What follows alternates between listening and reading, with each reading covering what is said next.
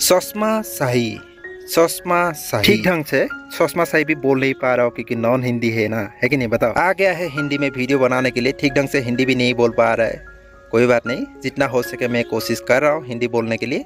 है दोस्तों आज का इस नया वीडियो के लिए आप लोग को सभी को स्वागत है। इस वीडियो के ज़रिए से आप लोग को दिखाने वाला हूँ श्रीनगर का सबसे एक बेस्ट लोकेशन जो कि ससमा शाही के नाम से आप लोग जानता होगा। जो भी नहीं जानता होगा, आज इस वीडियो के ज़रिए से आप लोग देख लीजिए।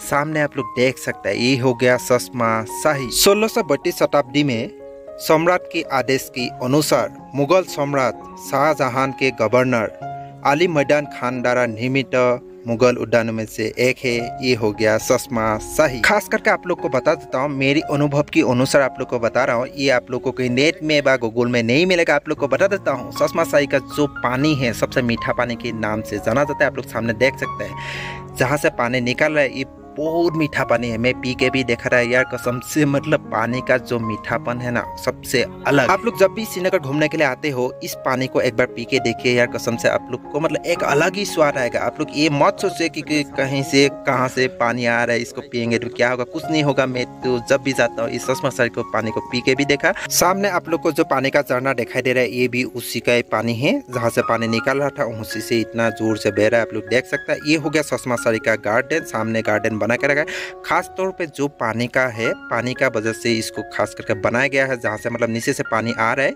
ये हो गया सुषमा सर का सीढ़ी, आप लोग सामने देख सकते हैं। इसका ऊपर एक गार्डन बना के रखा है, जहाँ पे आप लोग घूम सकते हैं, फ़ोटो भी खींच सकता है।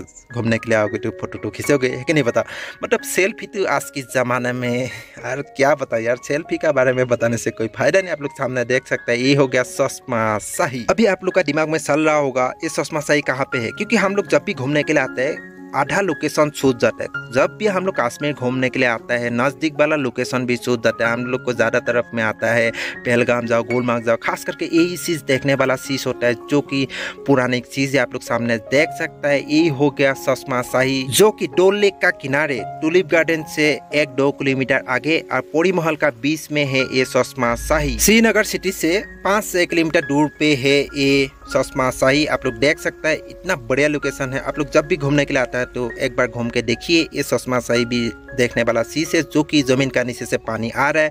वो भी मीठा पानी, बहुत साफ़ पानी है। आप पी के भी देखा, बहुत टेस्टी लगाएगा कसम से, जब भी आप श्रीनगर घूमने के लिए आते हो, इस पानी को एक बार स्वाद लीजिए। सामने आप लोग देख सकते हैं, यहाँ केनी केनी भर के आदमी पानी ले जाता है। खराब पानी होता है तो शायद कोई लेके नहीं जाता। इसीलिए हम लोग भी एक केनी भर लिया हूँ, क्योंकि पी के टेस्टी करेंगे। उसके बाद पीने के बाद हम लोग को पता लगा, यार कसम से, बहुत बढ़िया पानी आप लोग जब भी ट्रेवलिंग करने के लिए आते हैं, खास करके चश्मा से पानी को पीजिए और इसका स्वाद है दोस्तों, जो अपकमिंग वीडियो है डोल लेक डोल लेक के बारे में तो आप लोग को नहीं बताने से भी होगा, तब भी आप लोग को बता देता डोल लेक यार कसम से बोलो, बहुत बढ़िया लोकेशन है। आप लोग को अपकमिंग वीडियो देखना ना भूलिए। डोल लेक का ए टू जेड वीडियो कम से कम दस पार्ट के आसपास आप लोग को पास आ रहा है।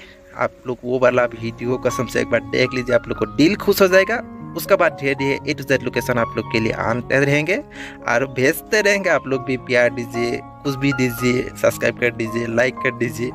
वीडियो तो सब देख रहे हैं कि तो लाइक और सब्सक्राइब बहुत कम आदमी कर रहे हैं। इसलिए थोड़ा सा आप लोग सब्सक्राइब भी कर लीजिए। जो कि आने वाला टाइम में आप लोग को दिखाने वाला हूँ, आसाम का हर लोकेशन आज के लिए वीडियो को इतना, में ख़त्म करते हैं। जय हिंद।